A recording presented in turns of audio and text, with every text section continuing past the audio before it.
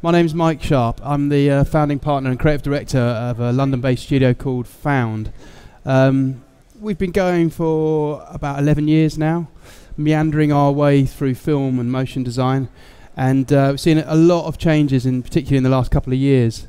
And that's the centerpiece of the talk today uh, about how things have moved on uh, in the world of motion design uh, over the past 10 years, but in particularly the last couple. Um, thank you, first of all, for Maxon for having us as well, because uh, we've been I've been using it since 2003 um, when I, I got the, the software for a, uh, I was running the design department of a DVD production studio, and uh, we needed to move beyond After Effects. We needed to make 3D logos and text, so we went and got uh, this software, tried it out thought it would be great for us, and everybody scoffed and said sh we should be getting Lightwave or Softimage. And I said, we just need to do 3D logos. So it seemed perfect and integrated well with After Effects. So we, we got that. And things have moved on since those 3D uh, logos and text. Let's take you through, through a few things. Um, should be playing. So look, go, going back uh, to the beginning, uh, just to give you a bit of context, uh, first of all, my background. Um, I'm a creative director, so you're not going to be getting a tech demo from me today, uh, I'm afraid. Uh, but I will show you a little bit about inside the studio and also, as I say, the journey we've been on to get to where we are today. So my background is uh, in graphic design. I went to college in Camberwell in South London, graduated in 2000. Uh, I wanted to do live action. I wanted to be a director. I wanted to do music videos. So I became a runner. I was trying to desperately get directing work. Um, and at the time, there was a huge shift going on in the industry in that world. There were digital video cameras came out, and big name directors were happy to pick them up uh, for music videos and also feature films, the likes of Danny Boyle, 28 Days Later, TV shows like Trigger Happy TV. Um, it was okay to have this lower grade look, um, as long as you were doing something interesting and with the editing, uh, or perhaps a little bit of motion graphics. Um, so this really inspired me. And, and, and when I was a runner in Soho, there was a lot of conversations in the pubs around there where editors were freaking out because no one was using Avid so much. They, all this desktop software was coming out. It's like people can just do this in their bedroom. what's going on? Uh, but it was really, really inspirational. However, my real, real heroes at the time were these guys. Check this out. We're in the creative home of the guys from Shynola. I'm Jason. Uh, I'm in Shynola. Hi, my name's Gideon. I'm from Shynola. Hi, I'm Chris. Same. Hello. This is a kind of a, a, neat setup. I mean, you all live together and you all work together. This is where I work. It, it looks a mess, but uh, actually, it's a, a, very complicated filing system. Hey, as we come in, how many hours a day do you spend in here? Uh, about, about 25. guns blazing for UNKLE. Quannum. I changed my mind, I changed my mind. Morgan. Steve Malkmus. Kid A Blips for Radiohead. Pyramid Song for Radiohead. Everything we do is just to amuse ourselves and and half the time you just I think, like when we were making Pyramid Song, you wake up some days and think, I can't believe I'm making this pop video from my bedroom. These guys were making this stuff from their bedroom. So it, it was hugely inspirational for someone like myself who could pick up a video camera, could get desktop software, and start making stuff without the need for expensive uh, crews, locations, uh, even editing facilities. You just get out there and do it. And there was no real excuses, which is incredibly daunting as well. Um, but hugely inspirational. So that's how Found was started. It was uh, let's set up a studio. There's no reason not to. Let's get the the hardware, let's get the software, and let's start making stuff. Um, and we collaborated with a lot of people at the time. It was just me and a friend. Had freelancers in a lot, uh, and we grew it all from there. And I think just starting the talk with that sort of uh, sentimentality is important because we've still got that spirit at Found where if we want to try things, we do it. And um, uh, it's that slightly sort of DIY spirit. Um, okay, so before we go into the work, I just want to talk a little bit about just setting the scene a bit more. There's a lot of talk about um, what's the difference between visual effects and motion design because the boundaries are becoming quite blurry at the moment. thanks to all the brilliant people that make the software and all the plugins and things that we need. So just looking around in preparation for the talk, I thought I'd Google what is visual effects. And uh, it's fairly well documented. You know, you can look around and everybody's got their interpretation of what visual effects uh, is, but it's pretty much agreed. It involves the integration of live action and generated imagery, enabling us to create environments and inanimate objects, animals or creatures, and that look completely realistic. That would also be dangerous, expensive, impractical, time-consuming, or impossible to capture on film and you won't be able to tell it apart from real life. That's what visual effects is. So it's supposed to not be seen. It's supposed to be invisible. You can't tell it's visual effects. That's what a lot of people always say. You can't tell it's visual effects. Conversely, you look around at what is motion design, and there's not an awful lot of explanation about what actually motion design is right now. Um, we know that it derived from the term motion graphic design, and it encompasses those three things of motion, graphics, and design. Um, much like visual effects, it does uh, involve the discipline of, of incorporating graphic design with live action. But the crucial difference is it's supposed to be seen. You're supposed to be seeing these graphics. They're supposed to be front and center. And They're not hidden as a visual effect. So I thought I'd uh, I'd show you sort of slightly cringing moment where I show you a showreel of my own from almost 10, 15 years ago. The sort of things we were doing uh, when we picked up Cinema 4D. We, we were still in After Effects and we were going two and a half D and then a little bit of 3D text or windows that you could put video through like this. I was working on a lot, lot of DVD uh, design and uh, music commercials and things like that. Which at the time, 10, 15 years ago, was pretty cool, and there was some uh, interesting things going on. But things have moved and surpassed that quite phenomenally. Um, where we're now in this sort of world. The most incredible stuff that's being created. And again, those boundaries between visual effects are becoming very, very blurry indeed. If we go back over that visual effects checklist, what is motion design? Well, we are creating environments, we're creating inanimate objects, we're creating animals or creatures, and they look completely realistic. That would probably be dangerous, expensive, impractical, time consuming, or impossible to capture on film. So there's a real advantage to doing it in motion design and you won't be able to tell them apart from real life. But they are still intended to be seen. We're not saying this is visual effects, it's very much celebrating the fact that it is CGI, but all the textures and the lighting and everything is real looking.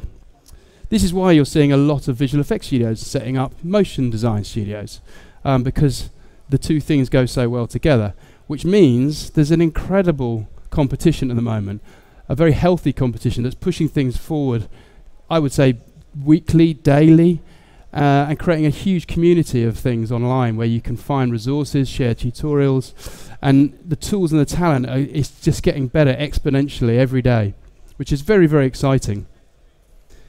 Here's a little quote from Stash at the end of last year where they said the explosion of visual experimentation caused by the continued democratization of 3D animation and rendering tools is arguably the most exciting trend of this decade. And I'd stand wholeheartedly behind that in the in the 11 year journey we've had and 15 years that I've been working in motion.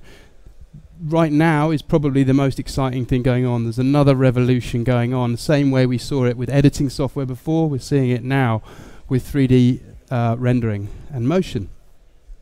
So there's a little setup before we go into more detail. A little bit about uh, Cinema 4D uh, and how we use it at Found. I refer to, refer to it as the engine of the studio because, um, as I said, when we first were using the software, we just thought of it as 3D text and a few objects here and there. Um, so it was on the periphery, and After Effects was still our, our animation tool. And over the last 10 years, and particularly the last 18 months, two years, it has very much become at the forefront of everything we do in the studio. No matter if we're using Houdini as well, or other things like X Particles and Substance Designer, Marvelous Designer, whatever it is, these things all bolt on into Cinema 4D in a brilliant way. Um, so it's very much the engine and the driving force of every project we do now. Um, so ways that we use cinema. Um, modeling, we're seeing a lot more product films. This was something we did for Hive, and it was about two years ago now.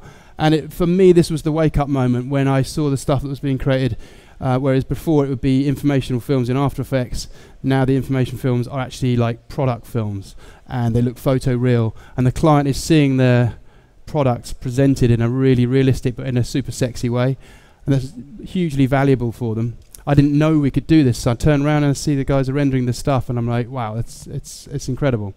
Um, that led on to mobile phone handsets that we've been modeling, uh, drinks cans that we model. We're using X particles to create uh, uh, condensation. Alcohol brands as well should be releasing this this these suite of films we've made fairly shortly. They let us put a few stills up. These are all completely CGI. Everything I'm showing here is completely CG made in Cinema 4D. Even cars. We did a TV commercial for this company, Drover, recently. We didn't model the cars. They're widely available on the internet, but you can buy them and texture them and light them, use them in your spots and commercials. Look completely photoreal.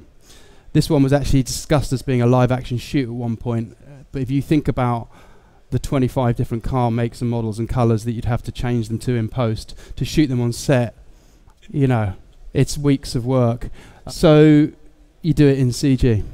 Something that I think probably gets overlooked, but is a huge backbone to the studio, is previs and planning.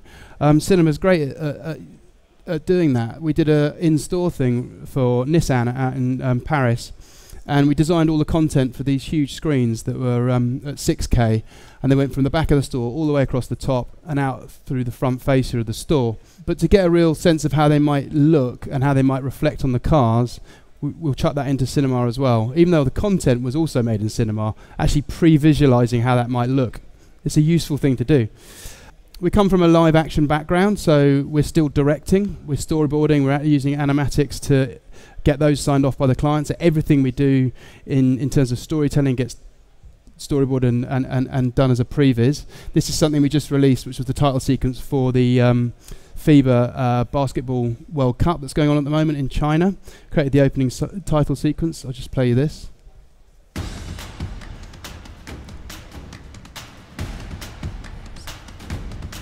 So it's a great way after your storyboarding, obviously, to take it into cinema. Just block it out with crude grayscale stuff.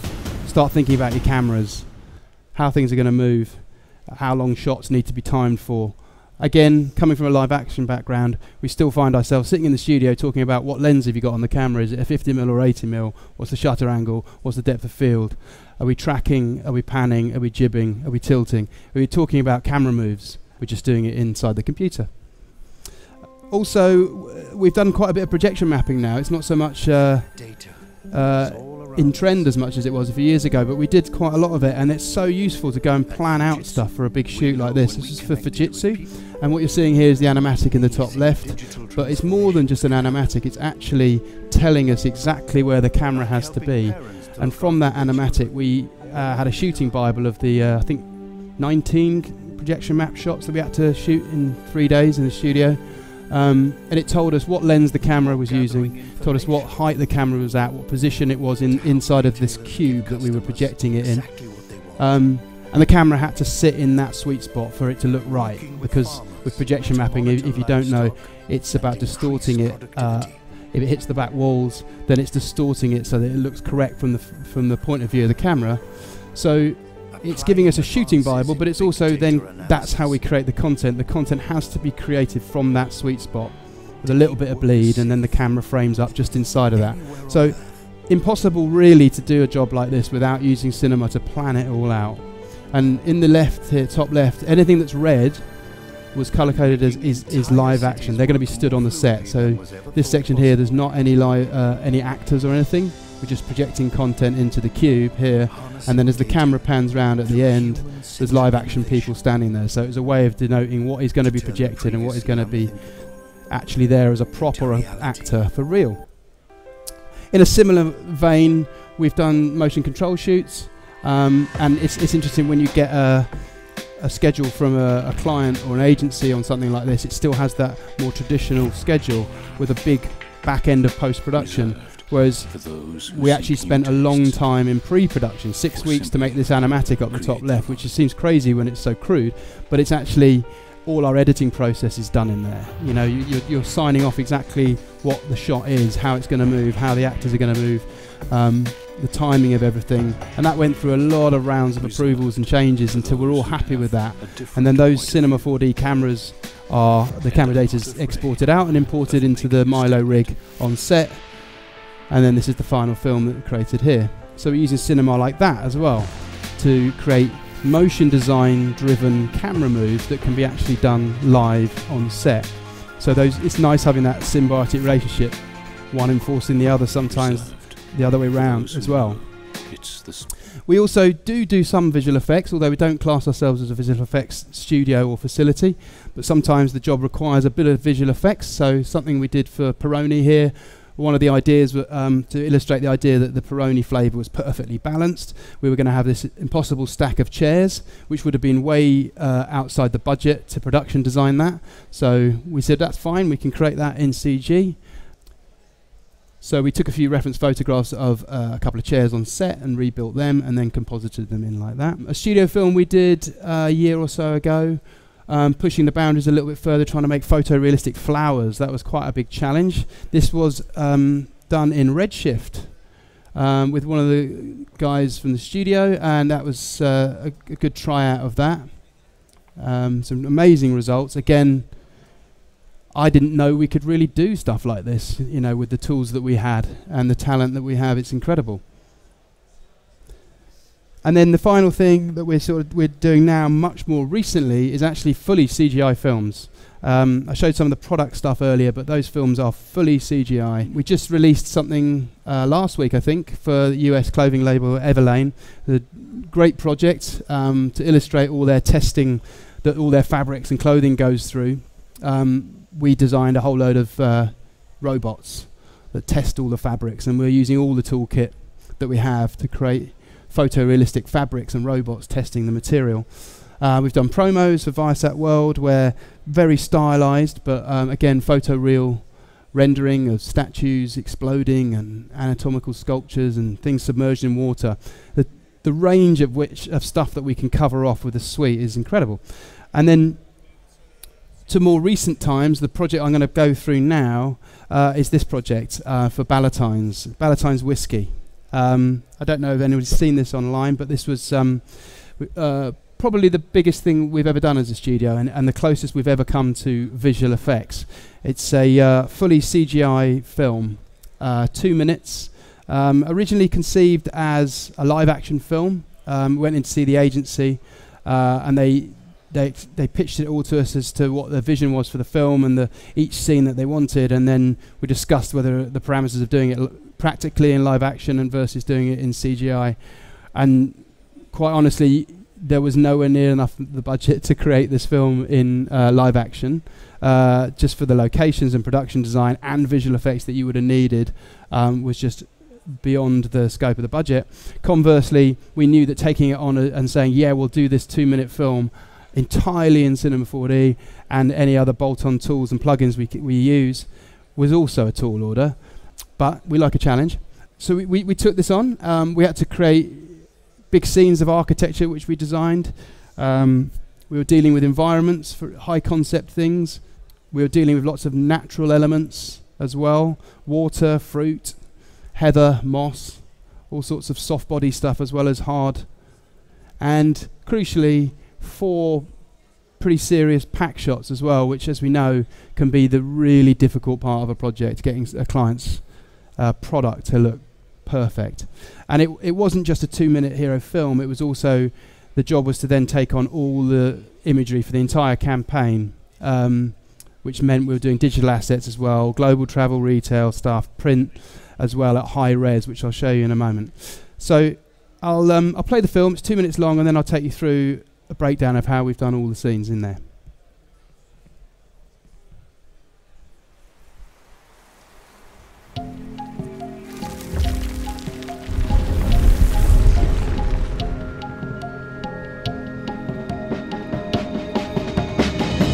For centuries, the ways of whisky have been set in stone. The malts that make a blend stay unknown.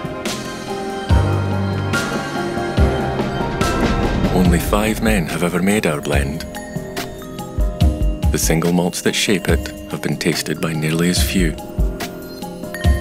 Tradition says these malts should stay our secret. But at Ballantine's, tradition guides us, never rules us. Because when something's exceptional, it should be shared. From lands veiled in mist, the hidden springs of the Blackburn River infuse Miltonduff with its flavour.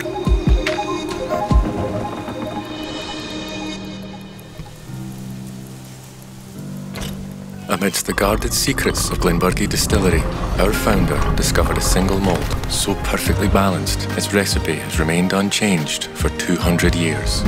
And to this day, Glenburgie single malt is still fiercely guarded.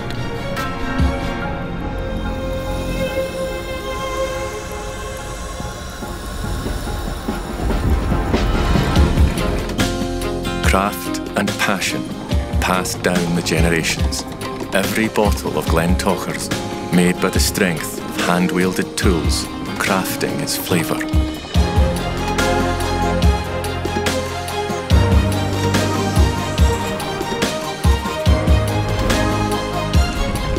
While Ballantine still keeps many secrets, some things are too good to hide. Everything in that two minute film, with the exception of the goose, uh, is completely generated in uh, CGI, which is a, a huge um, testament, I think, to not only us as a studio, but also the tools and everything that's available now. Because to be able to make a film like that in, in, in for two minutes just wouldn't have been possible a few years ago. Um, certainly not for a studio of our size. Um, so I'll take you a little bit. Uh, I'll take you walk you through sort of how we create something like that because it's it's quite a big process. We spent four months making that film, um, and even longer when you consider all the digital assets and print campaign stuff we did as well. From the beginning, Cubo, the agency that we worked with, uh, wrote a fantastic brief. We went in and met them. They showed us their vision for this uh, this white world, that's this fictitious house of Ballantine's, and it's all about unlocking the secrets behind the blend. So what we were promoting here is three individual single malts that are normally contained within the Ballantine's blend, but they were the f- they were releasing those as individual malts, and they wanted to celebrate each of those individually. The three single malts were Miltonduff, uh, which is uh, at the Real Distillery. They have this water wheel. It's well known for being v- having a lot of Scotch mist, a lot of natural elements, and heather and moss, and this uh, ancient water source of the Blackburn River. So all these things needed to feature in the film. The second one, Glenburgie, uh, centres around a place called Customs House, this little cottage here, which is where one of the founders of Ballantine's lived. So that was a very important element to the film and features in the packaging artwork. So we had to recreate that. And in the cellar of that house, there are lots and lots of ancient malts and secrets that he keeps hidden. Um, there was also flavour notes of honey, uh, and apple and citrus and pear. And the third and final one was Glentauchers, which is one of the oldest manual distilleries in Scotland, still using hand-wielded tools. And they they have this uh, these pagoda chimneys, which are very central to uh, to um, to the distillery and the look of the distillery. Um, but it's this sense of handcrafted. And and there, there's also these uh, flavour notes of black currants and raspberries and uh, more citrus. So once they'd given us the download and all that and we'd accepted the job, we then have to go through and figure out how we're going to turn all that into a film. And that's pretty standard. We go and figure out a storyboard, plan out all the shots. It, it had to work as cut downs as well. So this two minute film that you just saw actually had to cut down into three standalone 30 second films. So we devised a series of corridors and exits and entrances that we could then cut to any room we wanted to once we had to do the cut downs. But as we said uh, previously, once this is all a- approved and agreed in principle that we've got the scenes right in the right order and that we're telling the story in the correct way, we then do a guide VO and go and try it out in previs, much like we saw earlier. Um, so I'll just show you what the previs looked like of this project. Just turn this down a smidge. But again, just very quickly able to start to visualize how long each shot would be, and you'll see that there's it's quite close to the final film in the top right hand corner, but sometimes shots do vary in length. I think most of the shots are the same. There may be one extra shot in the in the uh, final film that wasn't in the previous. I can't remember, but Only five it's a very good way of starting to go from obviously from your storyboard into your have been tasted by pre-visualizing the whole film and timing out everything. especially if you're working on strict timelines for TV commercials. But at Ballantine's, tradition guides us. And you get a real sense for the film, Because when even if it is crude. it should be And it's very helpful for clients, of course, to be able to see it in this in this way. lands veiled in mist, the hidden springs of the Blackburn River infuse Because it wasn't until much later that we had all the models and the and the kit of parts we needed to actually assemble the film. We spent probably two months. Had an arti- uh, um, we had six visual effects artists, most 3D motion design artists working on this. So not a huge team. So it took us a couple of months to get through all the stuff we needed to create to start assembling the scenes. Glenburgie single malt But again, the previs will tell us what's going to be in each shot and how much you're actually going to see, whether you need to model it very, very high poly or whether you, you can get away with doing something in Substance Painter that gives it the, the illusion of Craft passion geometry. passed down the generations. Every bottle of Glentauchers made by the strength of hand-wielded tools, crafting its flavour. We spent quite a long time on the previs. Whilst all the modelling's going on, myself and our senior animator Ryan will be working on this previs While a lot. Still Uh, and I suppose that's where my directing background comes in and good to hide. start trying to work it out like a, like a film. So probably a good six weeks working on the pre- previs back and forth with the client whilst all the modelling's going on uh, until that's approved. Um, so I walk you through some of the key scenes in the film, starting with the hallway. Uh, this is this is something that I perhaps think we, um, in general, the architecture in this film we probably overlooked when we accepted the project.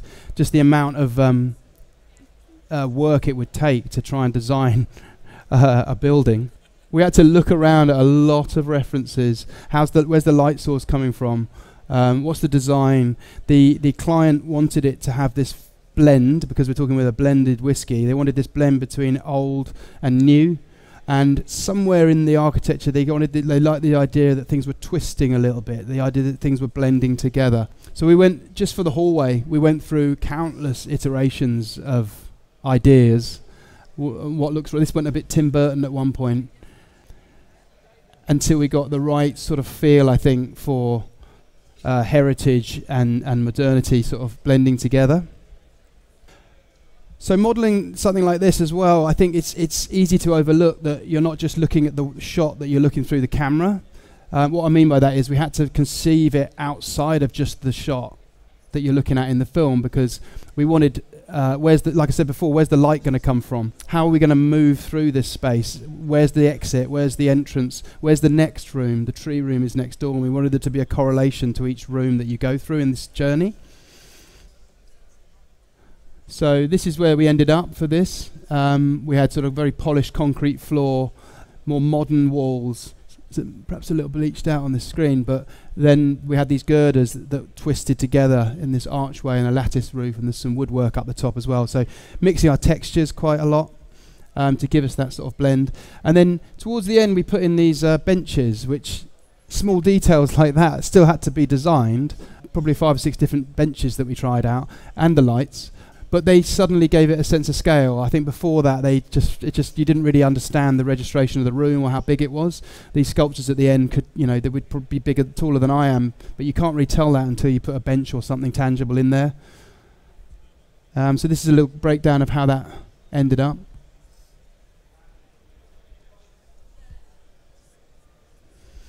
And then the next scene was this tree room. The, the, the, the the agency had written this idea that there would be a tree growing through the floor to sort of in some way articulate the idea that the brand is, is 200 years old and that they maybe planted this tree and it's just grown and grown and grown, um, which is a fabulous idea.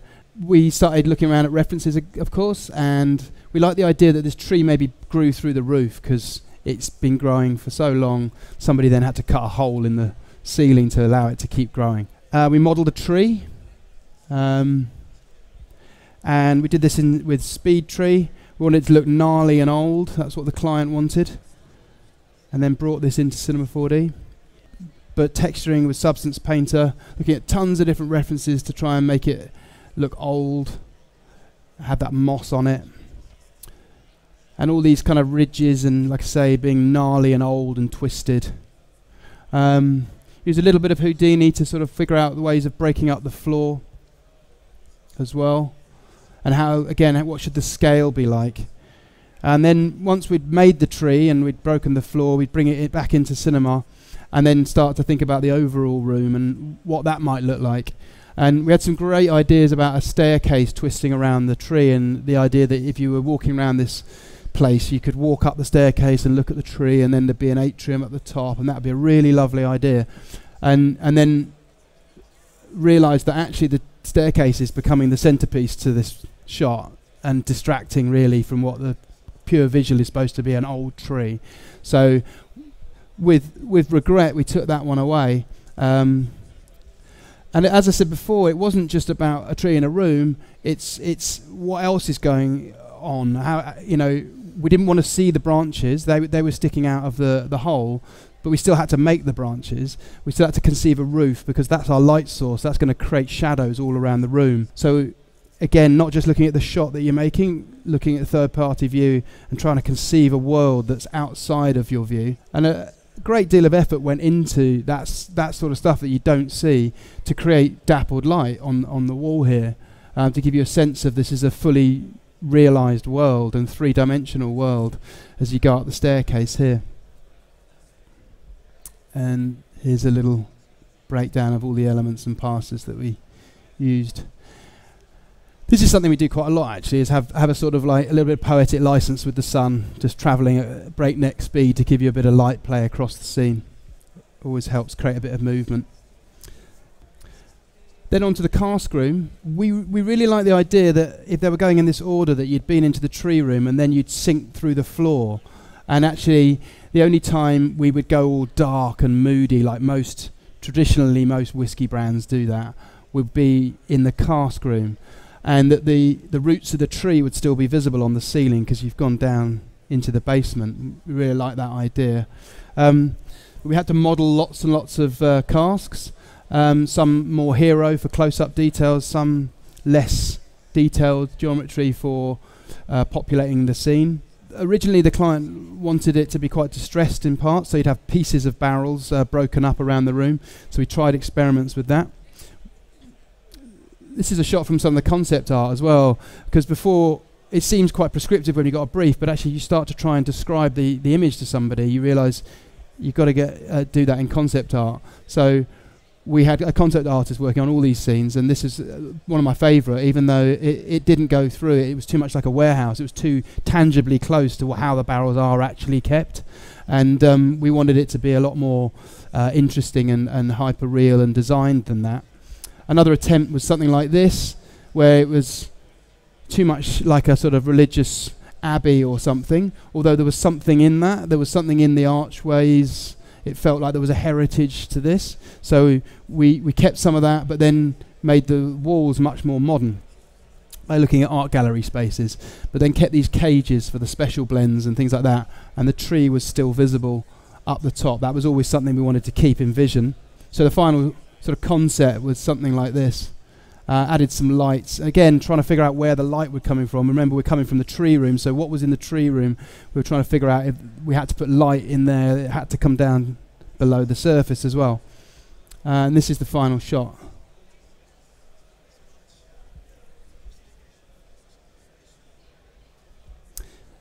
Onto the bottle room. Um, this was a very tricky scene to figure out. Um, the idea from the from the client was that there would be this optical sculpture of hanging glass vials with lots of whiskey in them, and that the camera would move around and it would line up at one point to form the the outline of a, a whiskey bottle, which was very very difficult to try and articulate and try and uh, make. Lots of questions to ask.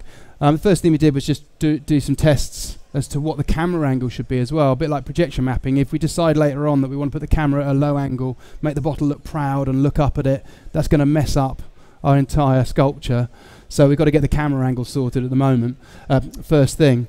Um, so we just did that very crudely with some shapes. And these, I think, were all in the end just hung by hand from the viewpoint of the camera.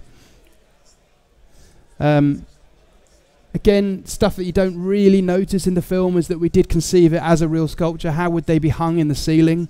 So we create um, uh, created a system of, of sort of rigging up the top with high tension wires and cables and stuff, and all this stuff was modelled and is up there. It creates shadows and, and detail that probably isn't noticeable on first watch, but adds to the believability. The glass vials themselves went through a lot of rounds of thought and changes. Um, originally starting like this, perhaps felt a little bit too much like jewels and jewelry and sapphires, um, until we eventually realised that they should be a real thing that you could put liquid in. How did the liquid get in there? So we put a stopper in there.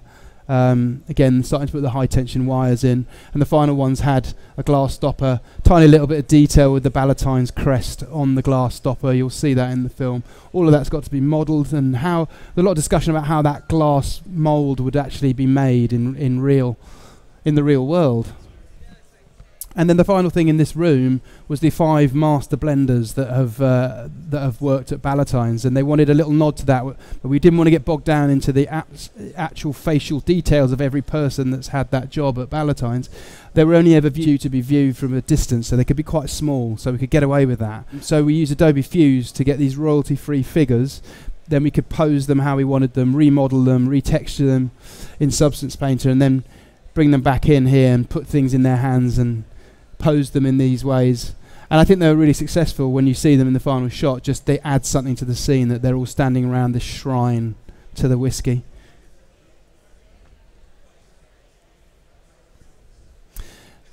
And by this point, we've already made rooms. We've the hallway was the hardest hump to get over. Once we designed that initial shot, initial shot at the beginning of the film, we had things that we could then recycle into all the other rooms. The girders, the concrete, the textures that we've made can now be just applied in here. So there's a design rationale throughout the throughout the House of Ballantine's. None more so, I think, than in the atrium, which was the final sort of room before you get into the actual single malts. The idea was that you'd have this cloud, and it was to do with um, weather. You know, making whiskey is a, is a lot to do with the location, and in Scotland it rains a lot. And um, they wanted a nod to that with the cloud. So we looked around and, and we tried a lot of designs for this. Uh, initially, huge amphitheatre type scales, perhaps a lake would be collecting all the waters from the from the cloud that had, where the rainfall had collected in a in a, in a lake. this very much had that blended feel to it until we ended up with the, the final design, something like this, with some seating. The idea that perhaps people might sit down and sit under the cloud, much like an installation at the Tate Modern or something. And then all the doors represent the different secret blends that go into the Ballantine's, and you'll see three of the doors are open. They are the three single malts that we're then going to go and take a look at.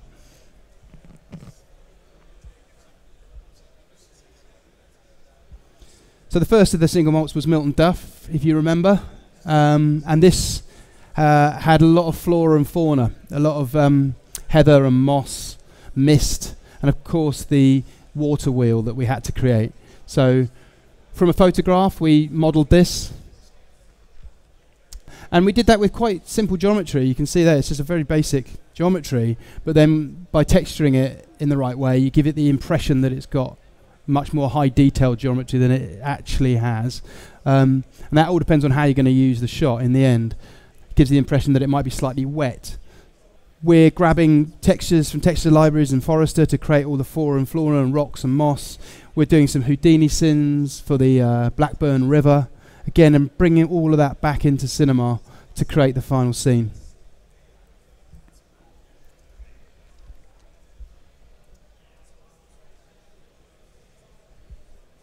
And this is one of our first pack shots that we had to do as well. So all of this, everything in here is modelled here in the studio. Even the cinnamon sticks. I ran to uh, a supermarket and brought some cinnamon sticks to uh, as reference one afternoon. Glenburgie, the second of the three single malts, um, centered around the um, customs house, if you remember, and the guard geese. Back in the day, they actually used guard geese uh, to to protect the property, and they would uh, hiss at you if you tried to come near. And they still are uh, actually at the location in, at this distillery, so they very much wanted to get them in there. And that little fella there is the only photographic piece in the film. It's sort of 99.9% CGI. Um, but we had to deal with uh, honeycomb uh, and pears and citrus. So we modelled the uh, the customs house um, from a, few photographs that we were given from the client. Again, fairly low geometry, and then the impression of depth um, through Substance Painter. But then in certain scenes, we did have to go and model some of the walls with actual geometry when we got in close. I think for the pack shot, you'll see in a second. Nothing wrong with going and grabbing stuff and buying stuff. You know, people have already spent time um, scanning and using photogrammetry to create photoreal fruit for you. It's widely available, so just buy it. We sat there and said, should we go and do a, a 3D scanning session and get all this? And we're like, well, it's, it's all there. Just buy it. There's no nothing wrong with that. Um, it's more about this. What are you going to do with it? So we, we put, this was our initial concept for some of the things that would be hanging around the customs house there was the tax ledgers because uh, customs house was originally a tax office and uh, there was tax ledgers and there was honey oozing out of it and all the flavor notes were contained within it uh, which i thought looked fantastic but if the client felt it was zoning in too much on the on honey as a, as a flavor so it was that creative idea was ditched and swapped out for this concept with these guarded walls around the house that would move like a kinetic sculpture which is actually a great idea um, so we had to model that up as well and work out how to do the ivy. Nice little detail that they actually have this safe in a wall up there at the real location. We borrowed a bit from that, and um, in the corridor leading up to this scene, there's a safe door that opens, which is modelled from that. You'll see here.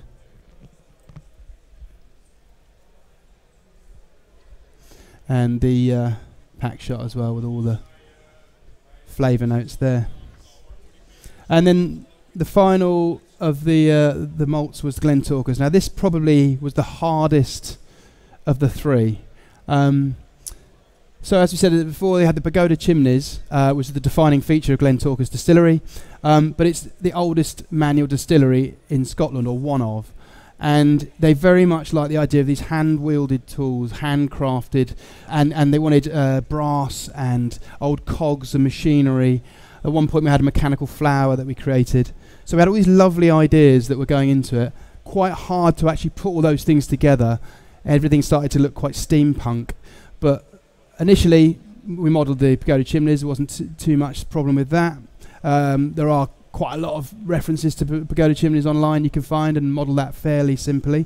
The hard part was figuring out what to do with them in this room, in this creative concept. So we had them recessed in the floor um, we initially started out with these four florets that were going around it, and inside those florets would be some cogs or machinery to articulate this idea of handcrafted distillery. Then we thought maybe it'd be nice if they had little individual sculptures or things, uh, performance pieces going on on those, but that didn't feel right.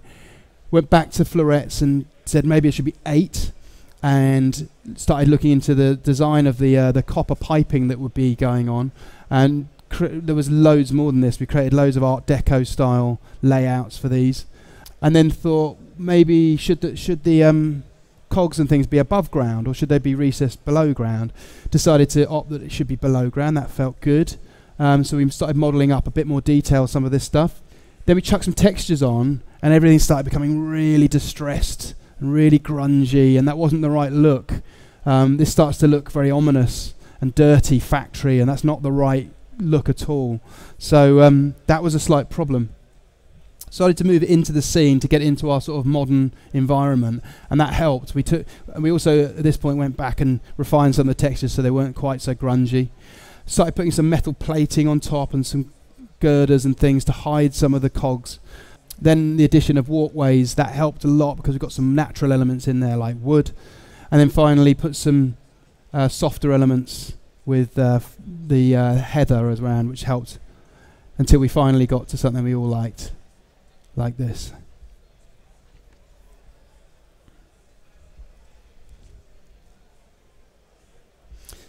And the pack shot for that.